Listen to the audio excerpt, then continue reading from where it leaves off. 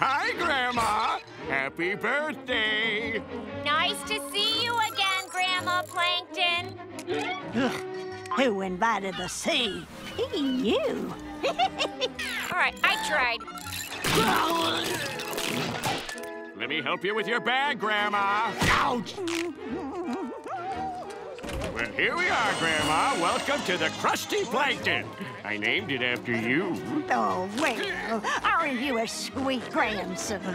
Who are they? Uh, they're just my employees, Grandma. Uh, meet SpongeBob and Eugene. Hello, Grandma Plankton.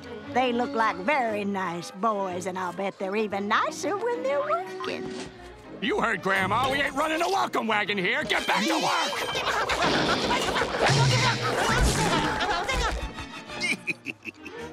sure thing, Plankton. That's Mr. Oh. Plankton to you, bus boy. Sorry, Mr. Plankton. It won't happen again. Oh, look, that one's napping on the job.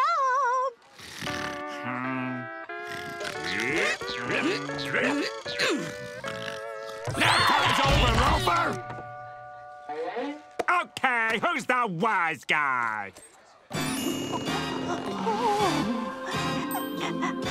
Oh, my goodness. Who is this handsome young man? Oh, that's Squidward. He's nobody. Moving along. Mm, Squidward. Didn't we meet at an early bird dinner? Ooh, I think someone has a not so secret admirer.